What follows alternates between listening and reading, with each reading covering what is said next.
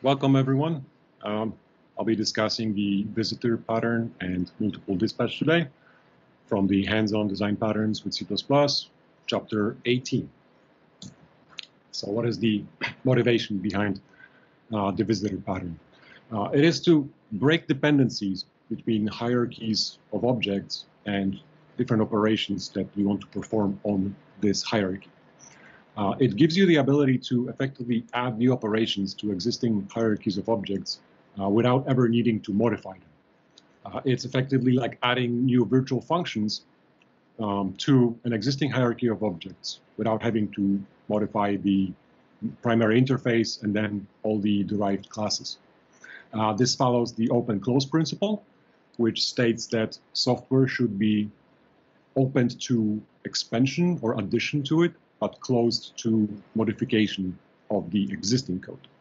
Uh, and finally, the visitor pattern is, is the way to perform double dispatch in C++, which is, I call it double dispatch because it's really just a special case of multiple dispatch. But uh, I'll, I'll explain that toward the end of the presentation. So let's look at a hypothetical example here. On a, in the left, we have a hierarchy of shape uh, classes. So we have a circle and square. It inherits from some shape interface. On the right, we have a hierarchy of renderers. We have a renderer interface and then derived classes like OpenGL or Vulkan used to, to draw these circles or squares. And finally, on the bottom, we have a serializer interface and a hierarchy of, of classes that represent different serializers, one for serializing into JSON, and one for serializing into the XML. So now imagine that you would like to be able to both render and serialize the shapes that you have. So here's one way you could do it. And I'm sure you've all seen this approach before, where you have an iSerializable interface and iRenderable interface, and then the shape implements these interfaces, or in the case of C++, inherits from them. They they decorate the interface of the shape with uh, methods like serialize and render. And then each derived class of the shape, like circle and square, has to implement its own specific serialize and render uh, overload.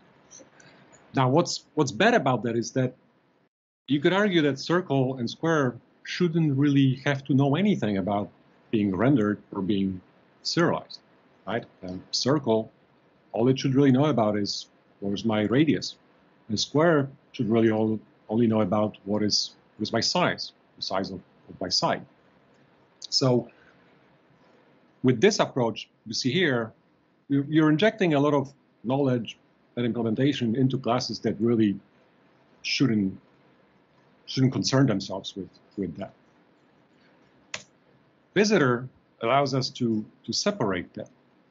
And the drawing here you see on got a little tight on the screen of the iPad I was drawing it. But what you see on the left, you, you still have your shape, circle and square uh, interface and, and classes.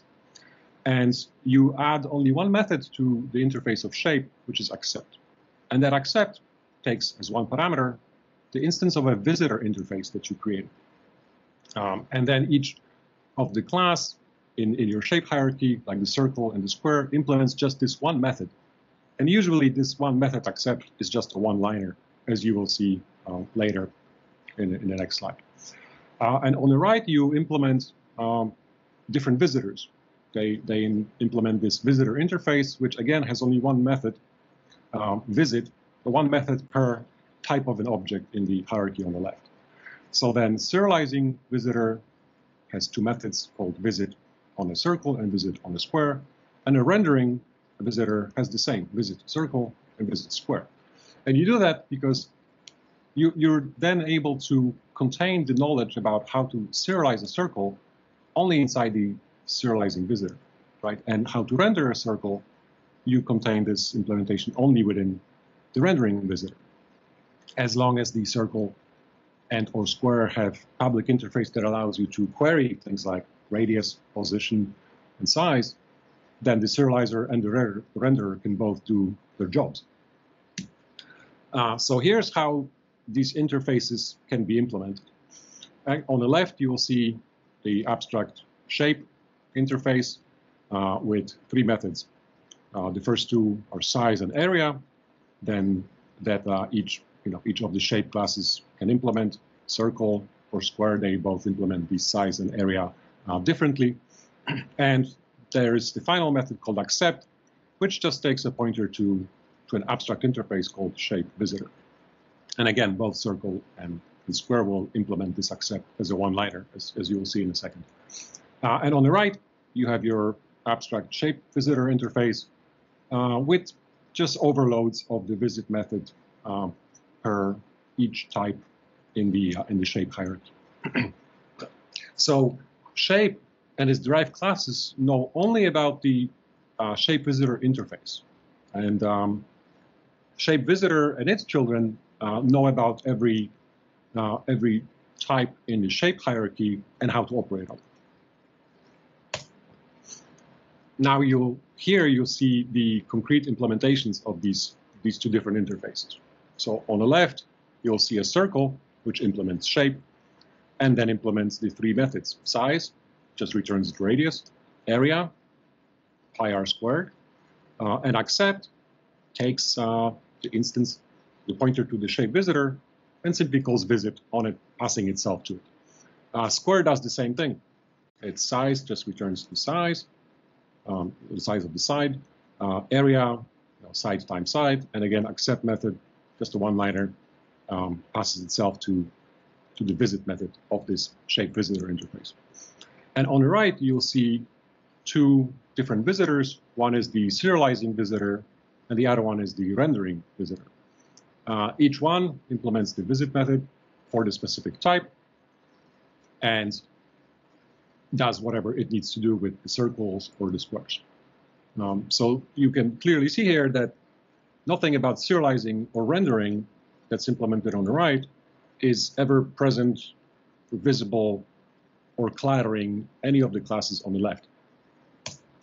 And finally, the way the way you use it is you create your circle and your square. Um, then you create uh, whatever visitor you want. And on the circle, you can just call C, accept serializing visitor, or square S, accept uh, rendering visitor. And there is no coupling between the shape and the shape visitors here. Um, again, shape knows only about one abstract interface and how to interact with it. Meaning, all it knows is that I'm going to accept this interface and immediately pass myself back to it. Now, um, a word about multiple dispatch. So what, what is a multiple dispatch?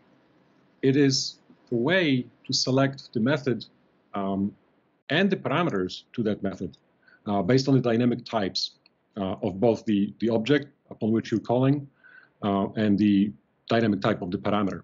And in this code example here, uh, you see that I'm trying to call a method visit of the uh, shape visitor um, with with C or S, but C or S are um, th their static type, uh, you know, at compile time was was shape pointer, right? So they cannot overload uh, and they cannot match on the on the visit for circle or visit for square here.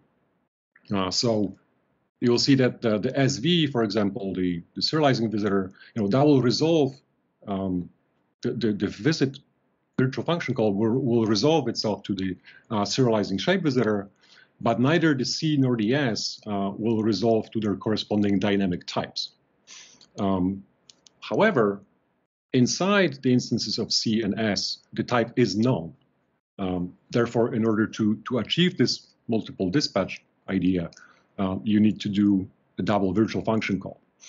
Uh, let me let me explain this a little further. So here, if you look again at the accept method, um, accept method for circle passes this, and it, and we know exactly what this points to in inside circles accept. It this type is circle. Uh, same for the square. Inside the square, um, the type of this pointer is is the square.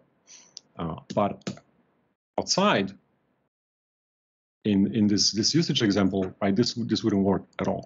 Um, that's why uh, the last two lines uh, here are are highlighted in red by my IDE because it says it simply cannot um, cannot resolve uh, cannot resolve the type.